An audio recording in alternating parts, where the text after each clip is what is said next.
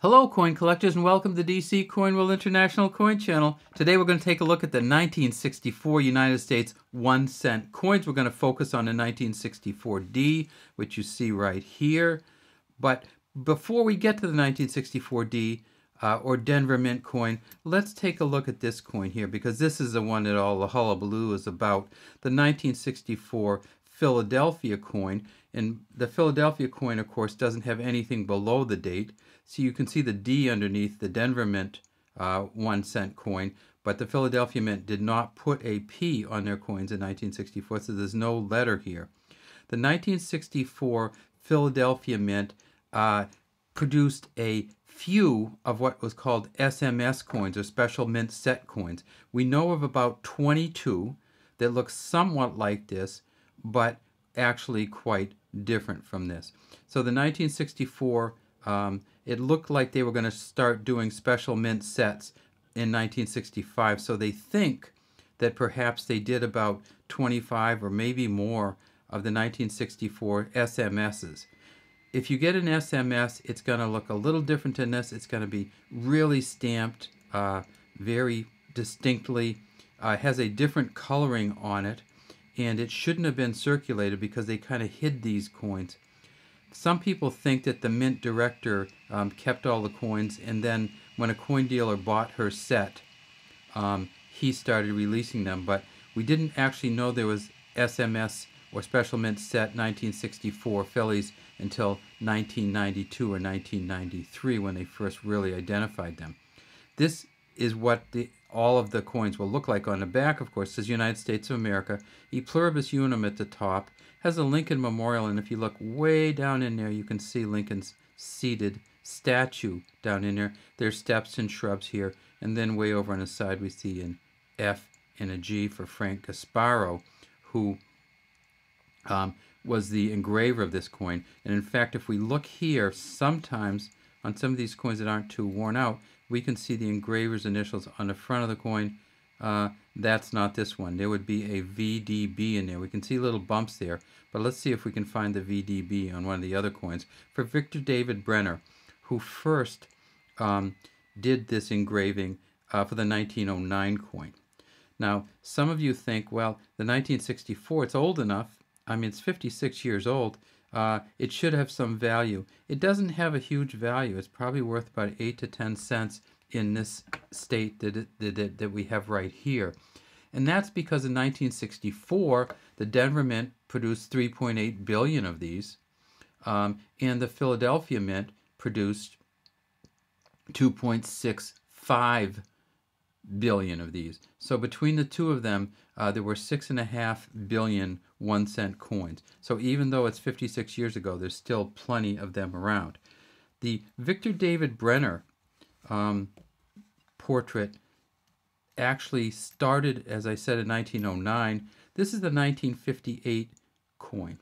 And this is again a Denver Mint. And those of you who collect a lot of pennies know that 1958 they switched away from the 1959 they switched away from the wheat ears cent to the Lincoln Memorial cent. So let's look at the two of them. So this is the last of the, the so-called wheat ears cents. And you can see these ears of wheat. And ears of wheat, it doesn't mean they're they're like ears on a head. It's uh, it's a term used for the way that the grain comes. Sometimes they call it an ear of corn that you eat. So if you get corn, it's called an ear of corn. These are called ears of wheat, and essentially it's the grain part of the wheat plant.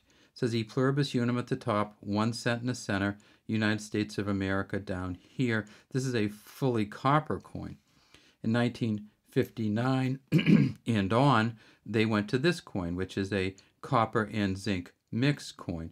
Again, it says United States of America at the top rather than down here. E pluribus unum here rather than around the edge and one cent here rather than in the center. Um, but when we go to the portrait on the front, we see that it is the same portrait. Now let's take a look at some of these 1964 uh, D coins. Uh, so look at that one.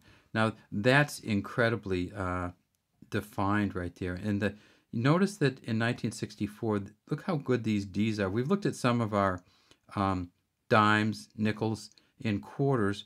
Uh, and even some of the half dollars, and the D gets all smushed. For some reason, the copper keeps its um, its uh, firmness much better, and you don't often see these smushed um, dates or smushed letters on the pennies.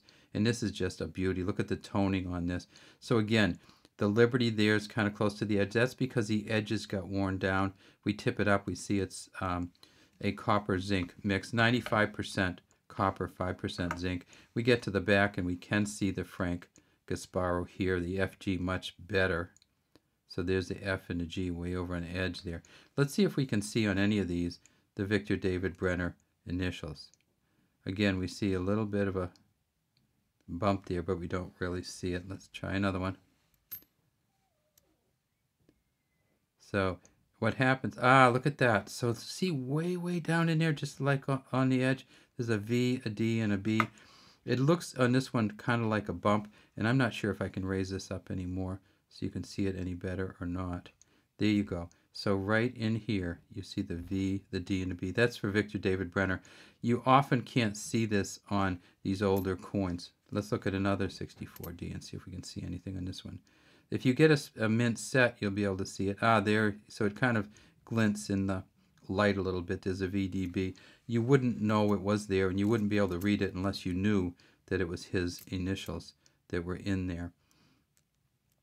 All right, and this one, you can't really see it at all. So here's our 1964 Ds, but look how fine the print is on these. And notice that some of these, uh, see how this edge got smushed down a little bit and, and the letters got kind of crushed a little bit or a little wider. So let's look at the, the letters on this one versus the letters on this one. So these ones look like they have wider letters. Um, the we is kind of smashed, but that's not a mint issue uh, or a mint error. That's something that happened afterwards as these kind of got um, uh, squished down. They got used.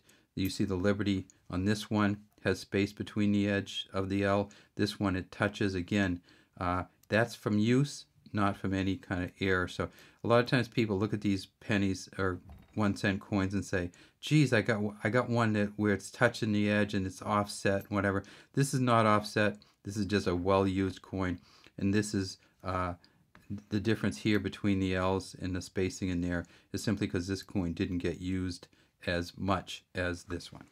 All right, well that's pretty much all we have for the 1964 Lincoln one cent coins, the Denver Mint.